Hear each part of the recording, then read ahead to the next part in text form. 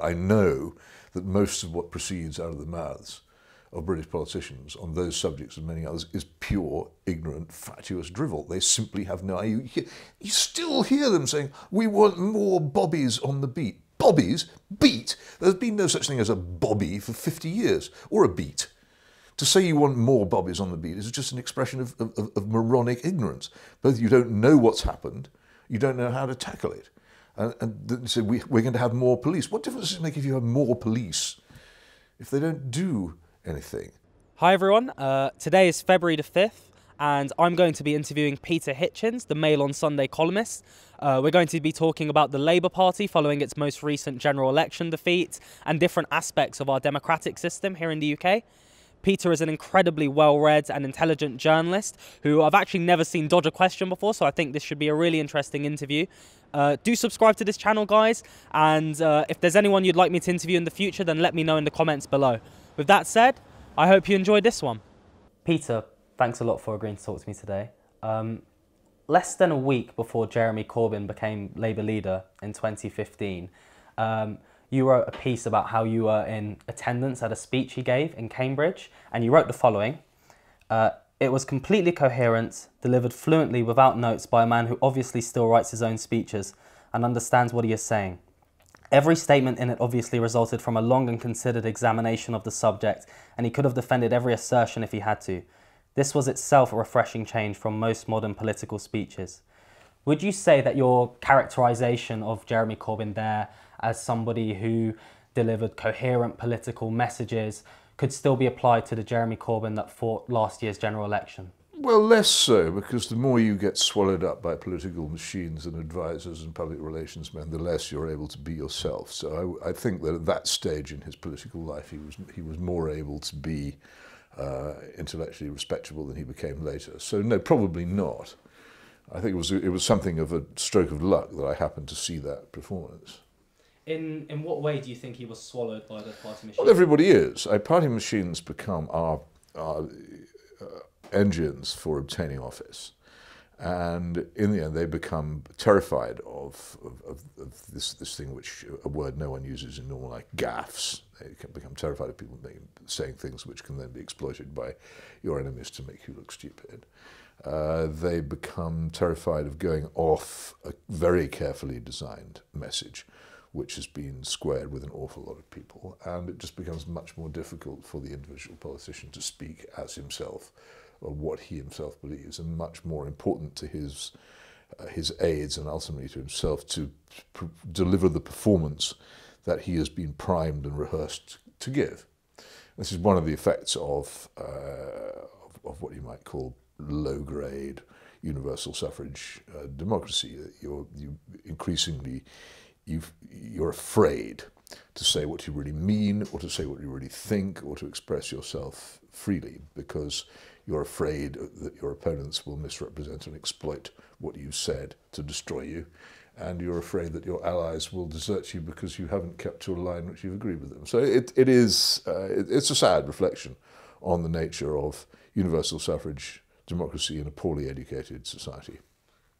and a very, a very conformist society as well, much more conformist than anybody ever, I think, imagined it would be. I think even John Stuart Mill imagined a society as conformist as this one has become, not a free society that's this conformist anyway. Conformist in what way?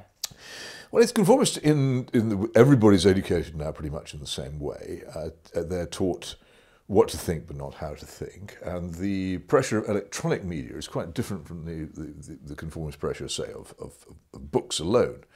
Uh, or the stage, because what everybody sees on television, what everybody sees on their telephone screen is the same thing, the same jokes uh, the same assumptions over and over again, and people are even expected to look the same. So the pressure in, of fashion on both appearance, manner of speech, sense of humour, attitude, what it's permitted to say in public, how it's permitted to say it, the tone of voice in which you're permitted to say it, is incredibly strong. I'm lucky enough to have grown up before this happened, so I, I have an awful lot more individuality as a result, and I find the conformism of, of modern Britain terrifying and dispiriting as well but it's definitely a much more conformist society than it used to be or than it should be. And electronic media have helped to make it so. So do you think that because we're exposed to uh, TV so much more, than, than we used to be. That now, when it comes to politics, the stylistic appeal of politicians is prioritised over the policy substance they have Oh, to very offer. much so. yeah. People have to uh, conform to a certain expectation of how they should sound, of what sort of things they should uh, say, and in what sort of uh, in what sort of manner they should say them. The the old manners of speech, which people had developed in in, in old-fashioned upbringings, first of all in their homes and in, in private life, and then in schools, which are much more unlike each other than they are now, and then in parts of the country which are more unlike each other than they are now. The accents that people had, the the forms of uh, the, the senses of humour that they had, the, the, the the rhythms in their speech were wholly different. And you could find in, in Parliament, you could still, until quite recently, find, I think, in the House of Lords, a great deal more variety in expression than you find now. And not just in expression, but also a great, great deal more variety in opinion. Is that why then perhaps when Ed Miliband was Labour leader, people were very focused on how he ate a sandwich and how, how he spoke in a very nasal way? This is, this, this, is, this is what has happened. It's become a matter of image rather than of reality. Uh, just going back to, to the Labour Party, um, when you listen to interviews of people in Bolsover, in in um, Blyth Valley, you know, places five years ago, you'd never expect Labour to, to lose in, a- in a general election. Uh, there there is this sense people have that the Labour Party has taken them for granted. What what do you think that speaks to, Peter? Well, I think that the Labour Party did take them for granted, and it's paid a price for that. And I think it wasn't impossible to imagine it because of what happened in Scotland. Scotland had been a warning to the Labour Party and to any political party that you cannot take for granted anymore the traditional tribal vote, that something may happen which completely destroys it. What I don't think anyone would have predicted would that it would, that it would have been Alexander Johnson who would have been the person who overcame it, of all people. But there it was. That's how it happened. Uh, there were all kinds of other things which, which became involved, but I think the, the problem has been for a long time that Labour really became increasingly after the middle 1950s and uh, Tony Crosland's Future of Socialism and Roy Jenkins's uh, manifesto book of around about the same period, uh, the Labour case. Labour became increasingly the uh, the political arm of metropolitan bourgeois bohemians, using the old working class vote to obtain office, but to, to pursue policies which weren't particularly in the interests of trade union members and working class men and women. And it takes a long while for that kind of exploitation actually to to pull a movement apart, but I think it, the strain had been on for some long time. And when I think, I remember um, Labour beginning to worry about the effect of its mass immigration policies on its own voters, uh, that was the point at which the rupture really came. When was that?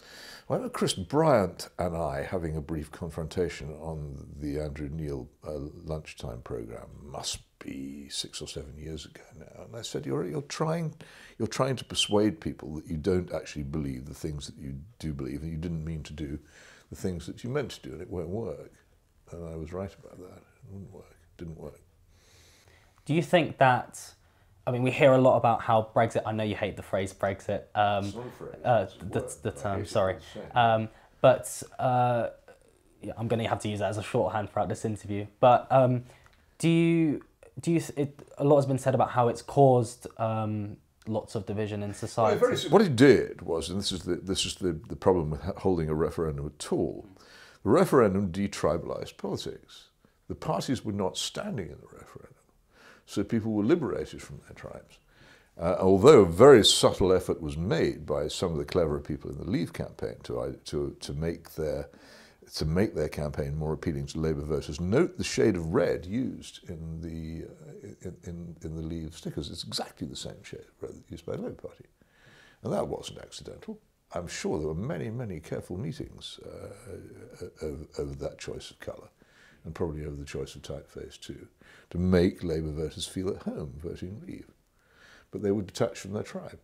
And having been detached from it, uh, it, it turned out not to be that easy to get them to go back to it. So it based the the whole vote exposed a lot of division as well. Oh, completely. I, the, to me, the great grief is it didn't expose a similar division in the Conservative Party. I think the the, the Conservative Party has betrayed and abandoned its traditional tribal vote just as totally as Labour Party has. But somehow or other, the Conservative Party has survived this. Yeah, and, and the Conservative Party has just won a, a landslide victory. So, uh, do, with that said, you've called, called, the Conservative Party a dead party before. Do you think then Labour did more it's to? A it's a dead party which is which which, um, despite being dead, managed to get access to an awful lot of money and an awful lot of electoral skill, and which found itself up against an opponent which was in a way even deader. Yes. So, do you think? I mean, you've heard of unpopularity contests. now, now, now you're, we're actually having deadness contests. Which of us is deader? So, do you think Labour did more to lose the, the election? Yes, I think Labour lost rather than the Tories won. I mean, what, what, what was it that they offered that made people want them in office? I don't think anything. There was nothing but a load of slogans. Uh, they, they just became, just as I think Donald Trump became President of the United States because he was not Hillary Clinton uh, Johnson became Prime Minister because he was not Jeremy Corbyn. Did Labour just not ha- have a bad hand when it came with Brexit, though? Well, if it, if it did have a bad hand, it was a bad hand it dealt itself.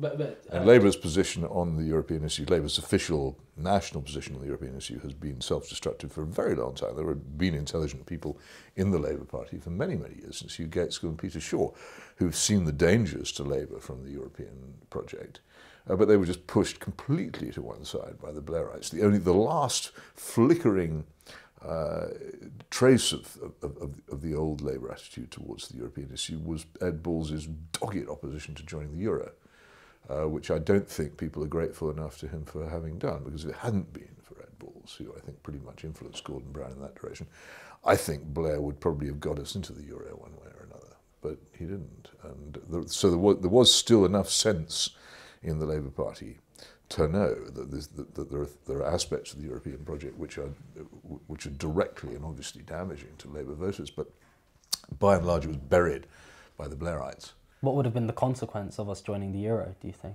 Well, I think an awful lot of economic and political damage would have been done. Uh, it's difficult to quantify. I think look at the look at what's happened to the to the to the eurozone members uh, since, the, since the thing came into being and look at the, the, the, absence of freedom to control their own economic policies and subjection of their economic policies to basically to German and French desires. And you'll see that in a gradation from, from Greece to Spain, uh, just how badly that's affected them. I think that the, the, the, particularly the unemployment problems for young people in a lot of the European Euro, Eurozone countries uh, are, is, a, is, an, is just an example of how having a, a single currency for many separate nations simply does not work.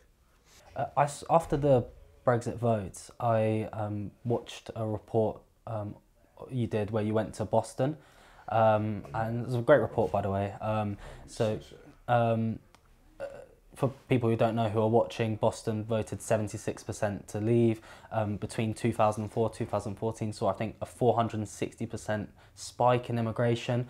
Do you think it was ever possible for Labour to come up with a Brexit policy at the election that would satisfy Leave voters in Boston and Remain voters in, say, Putney? Well, no, but uh, it wasn't possible for anybody else to come up with such a policy either. And what uh, what people in Boston were really voting against was, was the nature of modern Britain.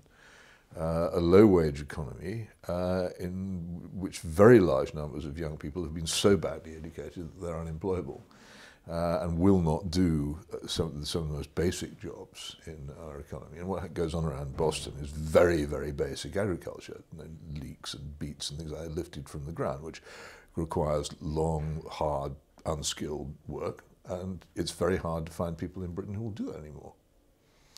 And the reason why very large numbers of migrants came to the Boston area was because those jobs needed doing and they were available to do them and the, the, the, migration laws allowed them to come and the employers were glad to have them. The problem was the social consequences of that for a small, sleepy uh, Lincolnshire town were colossal and unexpected and they caused a lot of discontent. That, that's the reason for my whole connection with Boston, such as it is, is because a, a reader of mine wrote to me and said, come to Boston and come and see, I'll show you around.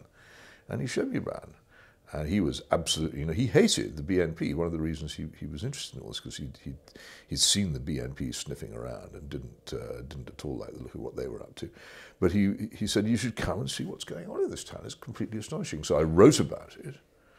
And then later on, I tended to feel that by writing about it, I might have made, had some effect on the attitudes of, of, of, people in, in the area and maybe even had, had had some effect on the, the, way the vote turned out. So when I was invited to go back and take a look, I went back to, look. And, and I, what I found principally was that the problems that people had been worried about hadn't really been solved. There's a lot of goodwill there, actually. Um, uh, most Bostonians are determined not to have conflict with the new arrivals, and most of the new arrivals have made a very considerable effort to settle in. But it's still, have you been? Not one. It's extraordinary to see the, the, the, the breadth and depth of, of, of the change that has been visited by circumstances completely beyond anybody's control on a, a rather small town. And it's just been transformed. People's lives uh, unrecognizable from the way they were 20 or 30 years ago in a very short period of time. With, nobody ever asked them. Uh, People bound to be discontented if they're not asked. I remember there was a, a bit in your report where you were with a, a, real estate agent and he talked about Boston now being vibrant. And you said not everyone wants to yeah, be vibrant. vibrant. Yeah, not everyone wants to be not vibrant. What everybody wants to be. Yeah. So what did you mean by that? Well, I mean, I mean by that that people don't necessarily want, want to have their the areas, the, the neighbourhoods in which they live, you know, previously quiet family neighbourhoods, uh, transformed into the sort of places where young single people live in large numbers. Uh, just wanted to get back onto the Labour Party. Um, last week there was a report uh, into Labour's general election failure. It was done by a couple of Labour MPs and it was leaked. And they basically, in one part, criticised uh, the media for negatively impacting Jeremy Corbyn's chances of becoming Prime Minister. And they said it was an assault without precedent in modern politics. Is, is that fair or is that just sour grapes? About without precedent. Um, I think uh, when I think of the way in which the media in general, I'm not saying this is, this is broadcasting, but certainly newspapers, uh, dealt with Neil Kinnock and Michael Foot, uh, I think there's precedent. Um, whether it was justified in those cases is something you can have an argument about, but um, certainly a lot of people at the time on the left felt that it was pretty savage. Uh, so unprecedented, I'm not sure. What, what makes it very hard for a lot of people to understand it is what makes it very hard for a lot of people to understand modern politics at all, which is why would it be that an organisation such as the BBC, which is fundamentally quite left wing, should be against, and I think it's fair to say that it was not sympathetic to, uh, the, um, the Corbynite Labour Party. And at the same time as the conservative the, the, the, the, conservative newspapers, which are always hostile to the Labour Party, were as well. So you have a very unusual, uh, apparently um, uh, nonsensical alliance between the supposed right-wing newspapers and the supposed left-wing BBC against a left-wing Labour leader. You can't make sense of that unless you're a, either a Marxist or you used to be one. What can you make sense? Of I can make perfect sense of it. I can make perfect sense of all British politics because I used to be a Marxist, and it, it doesn't. It, it, it, it, it falls very neatly into place. But even the categories that I use are incomprehensible to most people. I, if I say such and such a thing is is Gramscian, or I refer to the long march of the institutions, uh, or I or I use the term Euro-communist, people look at me blankly. What are you talking about? And if I say that the Blair government was in fact one of the most left-wing governments since Oliver Cromwell, people say, no, no, but he was a Tory, and, and so on and so forth. And that's not true. But the real problem in, in, between the BBC and Jeremy Corbyn wasn't that Jeremy Corbyn was left-wing. Jeremy Corbyn was the wrong, wrong kind of left-wing. For this you have to go back right into the into, into the Kinnock era when the, the Labour Party was pretty much taken over by 60s Marxists such as myself, who, had, uh, who were no longer shouting in the street uh, revolutionary Marxists, but had learnt in the course of rising up through their careers in the law and journalism and the, the academy and wherever else it was, the civil service, had learnt that they could still be radical uh, provided they didn't appear too radical, and they could have an enormous effect on society if they were cunning and subtle about what they did. And also, they were, they'd been liberated from any suggestion of disloyalty or, or enmity towards this country by the collapse of the Soviet Union. During the whole period of the Cold War, anyone on the left had a slight taint especially when it came to things like defence policy and foreign policy, had a slight taint of, well, are you really sympathetic towards the Soviet Union and are you really on the wrong side of the Cold War? When the Soviet Union collapsed, all that ended. The left was completely liberated and it was able to, to, to compete uh, finally on, on level terms and, and, couldn't be tainted in that way. And it was very relieved. Also it wasn't, it didn't have hanging around its neck the great albatross of the Soviet Union, that terrible political, social, economic disaster with secret police and, uh, and, and, and, and, the invasion of Czechoslovakia and the invasion of Hungary and the crushing of Poland. And they didn't have to, any of that around their necks anymore. They could, they could just pursue a left-wing policy far more freely than anybody had been able to do really for, for, for a century. And they did. But it's a fantastically left-wing party. Very large numbers of members of Blair's cabinet uh, were uh, ex-Marxists, but how ex were they? I, I, am an ex-Trotskyist, and I, you know that because I make it public, and I say so, and I, I will discuss till people drop to the ground with boredom exactly why I'm no longer a Trotskyist, and I can explain it. But Blair was a Trotskyist at university, pretty much the same time I was, but nobody even knew that until he came out with it in a radio interview a couple of years ago. If he'd said that at any time, uh, between about 1995 and about 2010, it would have been the most explosive news. But because he kept it to himself until after it was all over, nobody cared. Uh, but then very many members of his cabinet were had similar past, and, and also they don't discuss them either. They're only ever brought out by other people. And it, it, it, it Peter Hyman, one of Blair's uh, speechwriters and closest aides, uh, said quite recently in a long article in the, in the Observer that, that, the Blair project was far more revolutionary than anything Jeremy Corbyn ever came up with.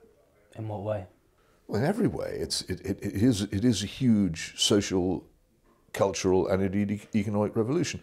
Look at what happened to spending uh, once Gordon Brown took the, took the brakes off. Uh, look at the en enormous expansion of, of, of, spending, the transfer of wealth through things like tax credits, the gigantic, the spending on the, on the health service on unprecedented levels, uh, just for instance, and the, the levels of debt in which the country now finds itself are another consequence of that. Then look at the, the, the social and cultural changes, the, virtually the, the abolition of state support for marriage, the de-Christianizing of the country and of, uh, of, uh, of, of, sexual politics in general, uh, the absolute insistence on comprehensive state education and the, the, the banning by law of, uh, of selection by ability in, in any future schools. Enormous. People go about clause four. Nobody wants to nationalise the widget industry anymore. That's all. It's a dead issue. The clause four of New Labour was comprehensive education. And comprehensive education, which was going to be extended uh, out of the schools and into the universities which is now happening because Oxford and Cambridge have now pretty much surrendered, who were the, last real bastions of, of, selection by ability, have now begun to, to, uh, to, to, surrender to egalitarian uh, principles and will more or less squash selection by ability to do so. Uh, this is an enormous revolution. So even though Labour at present doesn't have political power in the country. You're saying it has, well, it has huge. It, well, it has huge. Well, it, it, the reason why New Labour is, is, is dead is because it, it, handed the torch on to David Cameron. David Cameron was, as he rightly said, the heir to Blair. He and George Osborne referred to, to Blair as the master. Uh, they, they, they wanted actively to imitate not just the, the, the, techniques which he developed to get into office, but they, they, accepted the whole Blairite settlement as something which they would continue with lower levels of spending to some extent, but still extremely high. And the, the whole cultural and moral uh, package of Blairism was entirely swallowed by Cameron. That's why the BBC uh, suddenly switched from being endlessly hostile to the Tory party to being more or less prepared to tolerate it in government, which is how it, the Tory, Tories came back into power in 2010. Uh, in a recent piece, you actually uh, said that Boris Johnson um, was better at Blairism than Tony Blair himself. Much, yes. he's, he's, he is, uh, Blair himself was never that good. I mean, Blair is nothing like as intelligent or fluent as Johnson. Is, that is that what? The, the intelligent people in Blairism were people like Alastair Campbell, who they never dared put in front of the electorate because the electorate would have run a mile. Uh, Blair was, was, was put in as a frontman for public relations reasons because they, because they needed someone like that, sort of anti-Michael Foot. But he was never, in my view, either bright enough or coherent enough fully to understand the program he was pursuing. You need to look elsewhere, say for people like, like Alastair Campbell particularly, who was the real genius of the Blair project in government. Uh, to see uh, what a, what what manner of thing it was. It's quite interesting. I think I read a piece of yours where you said that he's the Alastair Campbell's the sort of person that you'd actually like to see become an MP. Well, no, I, ha, I mean, I, I would, I, I, I think that the that he is um, an immensely more impressive person uh, it would certainly be uh, a, a, civilized society should certainly be able to tolerate uh, people as difficult and, and in some ways as unattractive as Alastair uh, in party politics. And it would be a lot better uh, if Alastair Campbell had been, uh, as it were, on display as the real face of New Labour. People would have understood much better what it was that they were voting for when they voted for it. I'm not sure I'd go much further. I, quite, I, I, don't have much in the way of relations with him now, but at the time was I quite got on with Alastair. I, I find him an engaging person. He thinks, uh, he can express himself. He has strong, uh, enduring principles. They're not mine, but they are real principles, which he found the fascinating thing about Alastair Campbell is that uh, he's been living with the same woman for decades, uh, has brought up a, a, a, family, but he has never married her.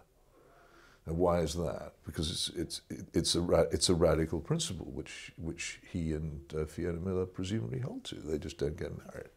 Why do you find Interesting, isn't it? Because I think that marriage is actually one of the most crucial issues of modern times.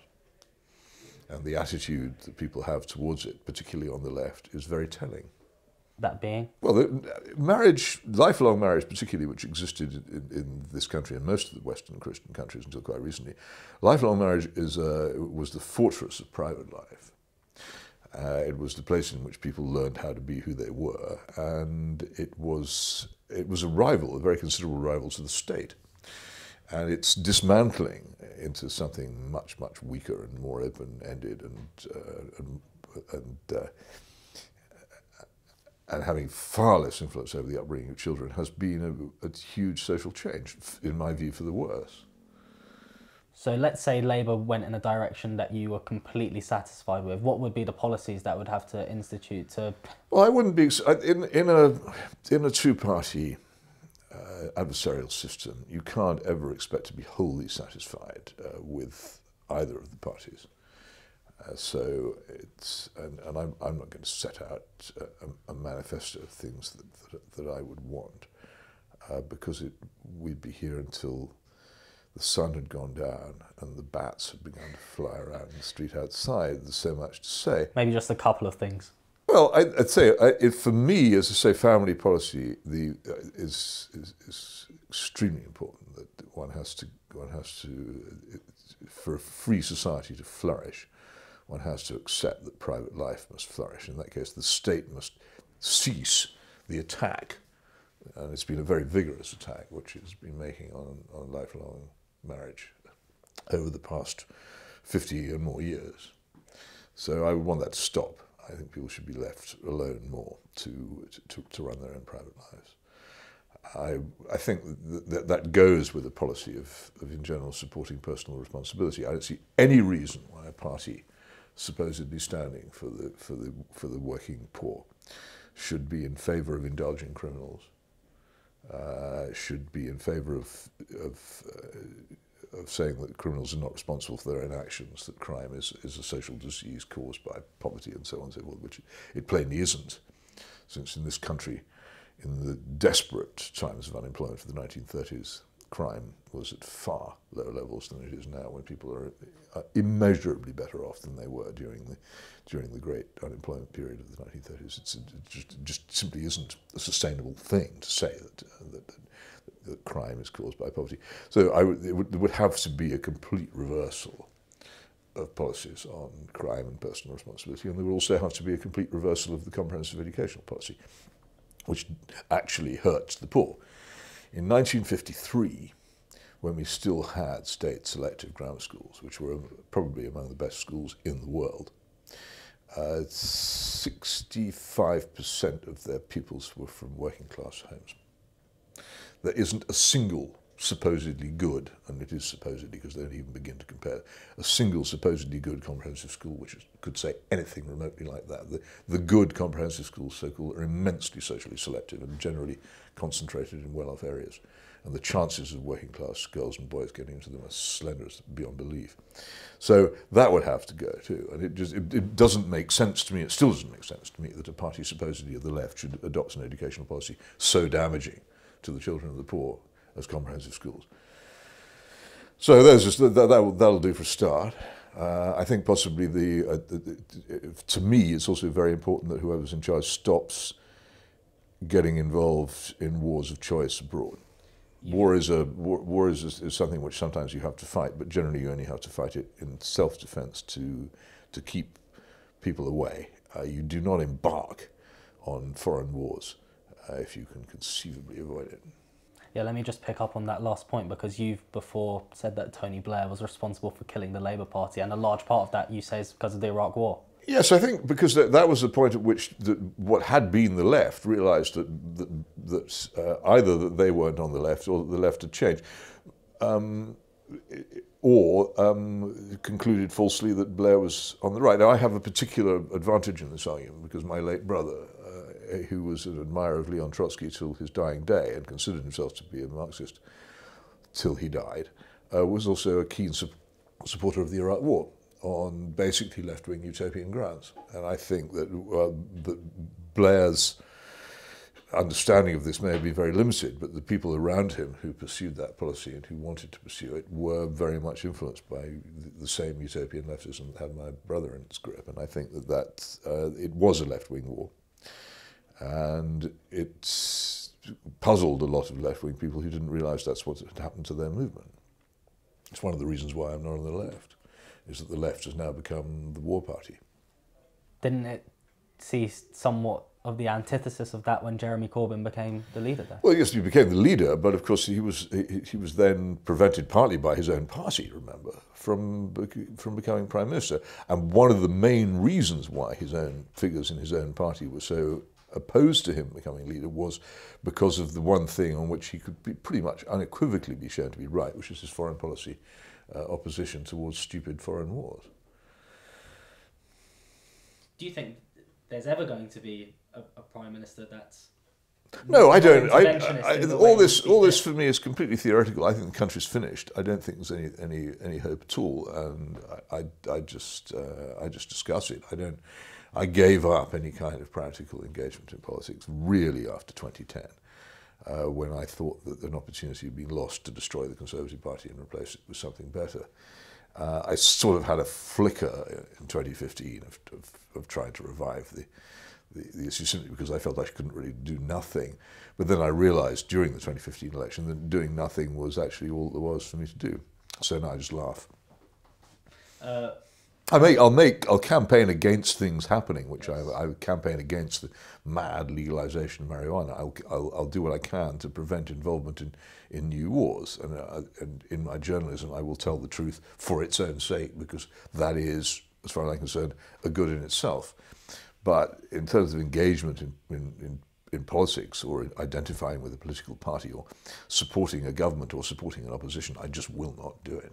This is quite an interesting distinction you're making. So you're saying that you're not going to actively campaign to change anything, but there's a lot you want to concern. Well, a lot of the things that I want to do is to prevent further changes yes, happening. I'm not. I, am not. I'm, I, I, wish to prevent things from happening rather than actually pursue policies. I mean, I, given a given the, the three wishes and the power to, to implement them, I've given you a pretty good idea of some directions in which I'd turn. But honestly, uh, I, I, it's, it's very frustrating because I am, I have to boast here, but it's true, I am a one-man think tank. I've gone into all these issues. I've researched the educational problem. I've, I've, uh, I've, I've, researched the criminal justice and policing problem. And I, as, as, a result, I know that most of what proceeds out of the mouths of British politicians on those subjects and many others is pure, ignorant, fatuous drivel. They simply have no. You, you still hear them saying, "We want more bobbies on the beat." Bobbies, beat. There's been no such thing as a bobby for 50 years, or a beat. To say you want more bobbies on the beat is just an expression of, of, of moronic ignorance. Both you don't know what's happened, you don't know how to tackle it. And, and we, we're going to have more police. What difference does it make if you have more police if they don't do anything? I mean, they, if, if, uh, what should they should they should do what we hired them to do I mean, under Robert Peel: go out on the street on foot and patrol individually and prevent crime and disorder. That's what they're for. They were very effective at it. As soon as they stopped doing it and became well, here's a simple simple statement. I, what, a simple question to start with. What use is a police officer uh, unless he or she can do first aid after a crime has been committed? Can't unburgle you can't unmug you, can't unstab you. It, it, the thing has already happened. Uh, an arrest is, is, is, is, actually a mission of failure. Uh, the whole point of the police is to prevent these things from happening in the first place. That's what they do, that's what they did uh, by being present. Now, uh, if all the police in this country were abducted by aliens, how long would it take most of us to notice? Because they're never there the, the, the, closest glimpse you get of a police officer is whizzing by in a car or up there chattering over, in a helicopter. You don't see them. It's They're not there. And the whole point, and if you don't see them, the, the, the, the, bad guys don't see them either. And if they don't see them, then their behaviour changes to the worse. It's simple. Uh, and, it's, and we had, when we had far fewer of them, but they patrolled the streets, they were far, far more effective. Crime levels were lower and the prisons were not bursting. So you would say austerity hasn't played much overall. No, there's no connection between the numbers of police and the, and, and the levels of crime. What about the current crop of Labour leadership contenders? I take it you're not very impressed by them. No, I, uh, why would I be? I see. No, there is. I, the, the only tendency in Labour that I have any interest in is is what's called blue Labour, and th- this it doesn't feature in any of this. Yes, I want, I want to ask you. There that. is no socially conservative. Um, uh, particularly no socially no socially conservative candidate in the current Labour leadership crop that I've seen. Uh, could you explain what Blue Labour is, first of all? Well, I suppose what it is is it's it's it's a return to what you might call Attlee and Bevin Labour, when the Labour Party was not socially revolutionary, was uh, was, was was still in favour of of, uh, of good education, of the enforcement of law, and, and, and understood above all things, that it was the, the poorer and less powerful people in the country who most needed the protection of, a, of an orderly society, as opposed to being a socially radical party for bourgeois bohemians who, who, who don't think that. Uh, so it would be a complete revolution. And this is a, a, a, fact, which is very, very hard for most people to cope with. But when the uh, when capital punishment was uh, was under discussion in the 1940s, an attempt was made to suspend it in 1948. Several members of Attlee's cabinet, including Attlee himself, voted to keep it. Can you imagine? Can you begin to imagine any senior Labour figure voting to keep capital punishment now? Attlee is much admired among Labour people, but they don't admire that bit of him, but actually it was a key part of him. That's quite interesting, that last thing you said there. Do you think a lot of Labour members just simply don't know all the details of, of Attlee and Bevan's legacy? Well, I don't understand what sort of Britain it was. I often recommend to people, I'm doing this since I wrote a, a, a, book called The Abolition of Britain 20 years ago, a very interesting novel by a, a young Labour MP who died tragically called Wilfred Fienburgh, called No Love for Johnnie. And what one of the things it describes, and it's obviously an autobiographical novel, is this young MP taking his first drink because he'd been brought up in old-fashioned Methodist temperance uh, which was you know, the, the, the, that's where an awful lot, particularly of Northern Labour, came from until the middle 60s. People who'd been brought up uh, in church-going, non-drinking, rather puritanical households. And that was Labour. Where's that gone? It's not coming back, is it? I don't know. I, I, t- to be quite honest with you, given the, the increasing chaos of life on the edges of our society, it might come back. Where do you think temperance came from? Temperance came from the chaos of Gin Lane. And it was invariably uh, the, the, the, campaigns to, to try and get some limits on boozing then, and one might make a parallel with marijuana now, that it came from movements of the poor because they were the ones who suffered from it. The rich could always get out of everything. If there's, if there's a divorce in a rich family, the children don't suffer half as much as they do in a poor family. If there's crime in, in, in, a, in, a, in a poor neighborhood, then it persists. Uh, if there's crime in a rich neighborhood, somebody does something about it. Now, shouldn't be that way around, should it? Uh, let me just ask you about electoral politics again. Um, Scotland, you, you talked about that earlier. Do you think there's a way for Labour to win back voters from the SNP without essentially caving into their demands and uh, I can't see it. I think offering you, a second once, referendum? Once you open the door uh, of, uh, of what was called devolution, once you open the door, you actually opened the door to independence. And I find this very odd, but I went up to, to Scotland, part of Scotland where I did some growing up in the early 50s, around Dunfermline and Rosyth, uh, during the last few days of the referendum. And although my my political sympathies were very much with the older Scots who I talked to, who were totally opposed. Uh, often they were quite left-wing people. They were totally opposed to independence and thought it a folly. I could not in, really find it in my heart to disapprove of the younger Scots who felt, well, why shouldn't we be independent? Uh, to whom the whole idea of, of, of, having their own country appealed very strongly. And I could see that in time this would, this would become an issue again, and I think it will. I think that the number of, the number of Scots who will want to risk it uh, will grow and grow. And I thought the techniques used against them, the Project Fear te techniques used to try and frighten them out of, out of, out of voting, to, to, voting for independence, were unscrupulous and wrong. And I felt they were unscrupulous and wrong when they were used against people who wanted to leave the European Union as well. And, I, and they backfired, as they do.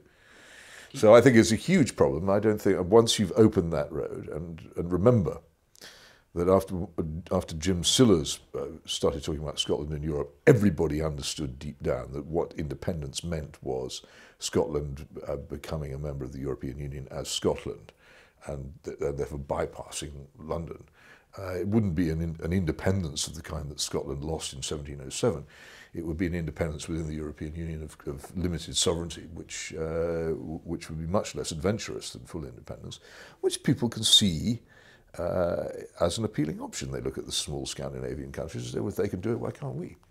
I don't myself find it very hard to argue, to, to, to, to, to see why people would want to do that. I wouldn't myself campaign for it. I wouldn't be in favour of it, but I think it's a very, very hard thing to combat. What about? I sympathise with it emotionally, but not intellectually. What about in Wales, for example? Well, Wales is a, is, a, is, a, is, a, is a different problem, isn't it? It's not the, Wales and Scotland are utterly different societies, and, uh, and, there are a lot of reasons why Wales might be more reluctant to do it. But once Scotland has gone, if Scotland does go, which I suspect it will, and once Northern Ireland has gone, which I think is going to happen too, then the, the Welsh problem will become more pressing. For goodness sake, it could be Cornish uh, independence next, in which case I might have to go down there and join in, because I am Cornish by ancestry. Do you think Labour could potentially lose more seats? I mean, if you look at an area like Wrexham, Labour's held that at every generation since 1935, apart from the most recent one. So do you think there could be more areas like that in Wales where Labour loses it because people think they've been taken for granted? I don't see why not. The question whether who they lose them to. It's a question of how long the um, the how, how long Alexander Johnson can keep his balloon in the air. Uh, how long will this government remain a convincing alternative? What's your suspicion? I don't know, but there's no guarantee of success. Just winning a majority is, is, is one thing. You can be very good at winning majorities and be no good at anything else. How is this government going to govern? What is its purpose going to be? Uh, is it actually going to successfully negotiate a, uh, civilized and workable terms for a departure from the European Union? uh, or not. It's not an easy thing to do. It's only just begun. Oh, well, we've left the EU now. We haven't. We've begun to leave the EU, but we haven't left it. I want to ask you this before. It just it just hit me. Um, Labour's campaign slogan was "For the many, not the few," uh, and at the heart of it, there's this idea of class struggle, which, as an ex Bolshevik, I'm sure you're probably aware of. Uh, yeah. that, uh, oddly enough, that was uh, the, the, um, Alastair Campbell used to use the same slogan in 1997. Do you think it's an aspect of their messaging that's worth preserving? It's just a slogan. Who's going to say? Who's going to stand for election saying "for the few, not not the many"? So it's like I think it's Roy Jenkins's law of any political statement. Uh, can you imagine anyone saying the opposite? If not, then it's meaningless. We're in the age of the slogan, though, aren't we? We are, yes, and the soundbite. What do you think? Well, I think. I think, well, I think it's it's another it's another um, consequence of educational decline and of the decline of individuals as individuals. And the, the, there used to be a time when more people could see through this sort of thing. Now, now people genuinely believe it. Guinness is good for you. And do you think that's why the get Brexit done cut through? Well, I don't know. I, I, I, am not. I'm not. A, I'm not a math psychologist. I don't know why people do it. I think one of the reasons people voted for what they voted for was because they were sick of it. That's absolutely for certain. I think people were sick, completely sick of all the of all the post-referendum wrangling, and, and anybody who offered to bring it, bring it to an end would get their vote because they had had enough of it. That worked, but it doesn't doesn't solve the problem of how will they now govern, and who are they anyway? What do they stand for? I don't know. Yes, because I don't know because they don't know. The manifesto was actually uh, the Tory manifesto was quite thin on policy. Of course it was. Yes, I haven't got any policies. By design. I don't know. I wasn't there. They didn't ask my opinion. um, Labour. Just get back to Labour quickly. Um, it's being investigated by the Equality and Human Rights Commission over allegations of anti-Semitism. Um, do you think it's fair to say Labour's lost the trust of the Jewish community in this country? Who knows? I, um, I, all I will say about those, all I've ever said, which is I'm, I'm really pleased to see uh, people beginning to spot uh, the fact that so-called anti-Zionism uh, actually does contain an anti-Semitic element. But if we're going to be consistent on that, then there's an awful lot of people, apart from the Labour Party, uh, who deserve to be examined quite critically. And my, a simple point about the state of Israel. It does lots of bad things. My goodness, it does lots of bad things. But it actually, a lot of other countries do bad things as well. And yet there are some people who spend an absolutely disproportionate amount of time worrying about the bad things that Israel does and don't worry about the bad things other countries do. And you have to ask yourself, why is that exactly? Concealed within that is. I'm just asking, why is that? Why would it? Why? No, it's quite small. It's quite a long way away. Why are they so preoccupied with Israel? And you suspect it's anti-Semitism? I didn't say that. I'm just asking a question. You can answer it whatever way you like. It's a fascinating question unanswered, but um, there isn't much doubt uh, that uh, that there is a lot of this about, and that it actually governs quite a lot of policy, and journalism and academic study, this particular selective criticism of Israel. Well, I'm really glad that people are beginning to see it for what it is, but it's not just the Labour Party that does it. Uh, let's move on to wider aspects of our democratic, uh, democratic system here in Britain. Um, in 2006, you wrote a, a piece, uh, The Real Problem with the British Constitution, and you said, Nobody addresses the most urgent task of constitutional reform, changing or replacing the two decrepit parties which bar the doorway to Parliament. MPs are not really, really elected, they are chosen in more or less safe seats by closed committees of selectors. Uh, firstly, 2006 was a long time ago. Just wanted to check. Do, is that something you still believe? Oh, yeah, completely. Yeah. It's, it's, a, it's a bold statement of the truth. Try to become a member of parliament and see what happens you mentioned safe seats there, but is there really such a thing as a safe well, seat? A few other than there were, but still quite a few. I think you'll find that, that all political campaigns are waged in a certain number of marginal seats. Uh, I, I, happen to live in one of the ones which isn't.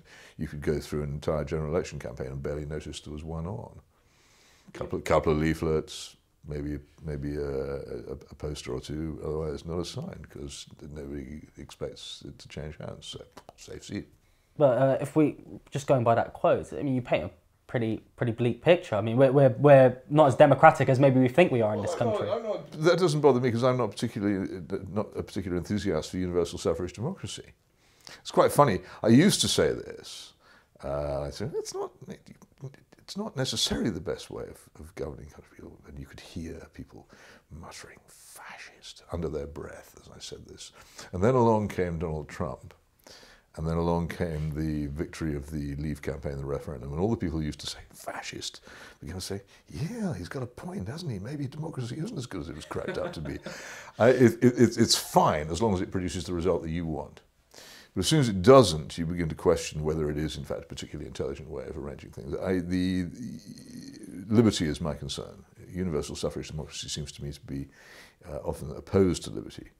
Uh, there's a particularly strong example of this at the moment in Turkey, where uh, Recep Tayyip Erdogan has pretty much abolished freedom in Turkey by the use of a democratic mandate. But even though democracy can be abused, uh, isn't it still a facet of freedom? It's a facet, but I'm, to me, the crucial, the, the, the I, I, I, start with Magna Carta, I start with the presumption of innocence, with habeas corpus, with, with jury trial, uh, with Fox's Libel Act, with all the with the with the Bill of Rights, the real fundamental guarantees of liberty lie there, and also with an adversarial parliament. Uh, where there is always an opposition and where that opposition is permanently in a position to take over as government and the government can be removed at short notice and genuinely removed. I mean, the Prime Minister can be on the street in Downing Street with his grand piano overnight. That's good, I like that. But it doesn't necessarily mean that, that, uh, that universal suffrage democracy is the only way of achieving this. Talk, talk to me about ju jury trials because that's something we don't debate a lot. Mm, people don't debate it at all. They don't yeah. know about it. They don't know about it. They don't understand it. Yeah. So People go and see Henry Fonda sometimes still, I think, in 12 Angry Men. And they think, gosh, isn't that fantastic? And that one man, the jury, can stand up against prejudice and, uh, and ignorance and, and get the right verdict. But in fact, that's not true in Britain anymore since majority verdicts. Majority verdicts mean that uh, the 12 Angry Men could not happen in one Britain. One person would simply be overridden, even if he was right.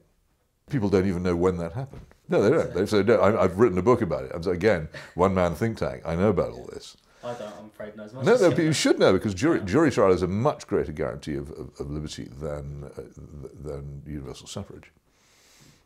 How so? Just because it means that the state cannot arbitrarily lock you up. It simply can't. If, if you cannot, if habeas corpus operates and you cannot be in prison without the, the, the unanimous verdict of, of, of, uh, of 12 of your peers, then the state cannot look you up in a trial, which on the continent is basically a discussion between various civil servants about how long you should go to prison for. A trial is a real, unpredictable uh, attempt to establish whether you're guilty or not. And it, it, it, and it, and it starts on the presumption that you're not guilty and the, and the state has to prove that you are. This is, go to countries where this doesn't happen and see the difference. See the difference particularly in the way that, in which the police and the authorities treat people. Uh, these are countries which have identity cards where you have to identify yourself to the state. In this country, it's still just the case that the state has to identify itself to you, which is the right way around. Isn't your desire to see the, the two party stronghold over Westminster politics broken? Well, I want two different parties. Well, isn't your desire to see that at odds with your support for first past the post as a no. voting system? No, the first past the post system is essential for two party system. You, you, you have a proportional system, then the two party system breaks up. The, the key to two party system is that the coalitions are formed before the election and present themselves to the electorate as coalitions. So you have the, you know, the, the, left or the right, they, they, they come forward, they produce a manifesto, so this is what we're going to do, and you can chuck one of them out and put one of them in.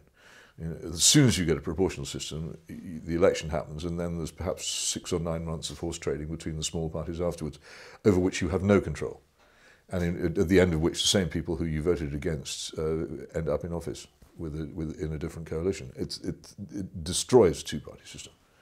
But doesn't it make it harder for newer parties to yes, break into it the does, market? But, it, but, if new parties can break into the market, but then can never ever become anything other than bargainers for, for, for, for coalition uh, scraps, then that's not much of an advantage. One of the uh, Labour leadership candidates, Rebecca Long Bailey, has proposed replacing uh, the House of Lords with an elected Senate. What do you think of that? I think you'd then have competition between the, between the two houses of parliament, uh, in which it would be very hard to work out who was supreme. And since you've just had the catastrophe of the referendum in which two rival democratic mandates contested against each other, uh, who, which, which of the two democratic mandates, the elected parliament or the referendum, uh, was in charge? And that was what all that three years of wrangling was about. So you propose to make that permanent by having two permanent rival elected bodies with different mandates. Doesn't doesn't. I really, it's not very appealing, is it? I'm surprised because th- wouldn't that somewhat appeal to you as a social conservative who, who often it's, thinks it's just an obvious, it's, it's it's it's just from a simple engineering point of view. It's it's just obviously it will not work if you've got two competing sources of executive authority. but there'd be more gridlock and it would be harder for politicians to ruin the country in your eyes. Well, it might be, but it might not be. I mean, it isn't. Uh, it, it's. Uh, it, it also would, make it harder for anything to be resolved. I don't mind politicians doing nothing when what they plan to do is stupid, but there are some things which need to be addressed, and they can't just be left because the, the, the Senate and the House of Commons can't agree. We, uh, I started by asking about um, a speech Jeremy Corbyn gave back in uh, 2015, which you were in attendance for, and I think I'll end there as well. Um, you mentioned in your piece on that that there was a point where you attempted to uh, applaud his opposition to big money in, in British politics. Um, and of course, in this last general election campaign, uh, the Conservative Party raised more than, I think, £5 million pounds Oh, in just the first week. yeah. And uh, you've often talked about how one of the only reasons why the two party system survives in this country is because the, uh, the two parties are propped up by what you call dodgy donors. I mean, Do- do- well, dodgy donors and also state support. And people say there's no uh, the, the, the, there's, there's no state money for Parliament, but they haven't heard of the short money, which of course goes to the opposition parties and is very substantial, uh, which I, I also don't favour. Uh, no, I think the, the individual donations should be limited. Uh, I should think probably to a maximum of fifty pounds per person, and there should be no corporate donations. Full stop. Uh, the, the, the, I think the, the Conservative Party's relationship, particularly with property developers, and since 2010 has been shocking. Uh, but the, the whole business of, of, of how money can be used as well. Uh, technically, uh, elections are supposed to take place in constituencies, but uh, national advertising and, uh, and all kinds of targeting can, can, can, as far as I can see, can be used to bypass the, the, the spending limits in constituencies in, in, in very important ways. This is wrong. do you do you think this has an impact on, on policy? Huge, yes. Uh, Can you name a specific area? You talked about property developers, maybe. Well, I know what was. I think the, the, the plainly, uh, quite plainly, the Conservative Party's attitude under David Cameron towards the, the concreting over the countryside was, was much more favourable than it had previously been.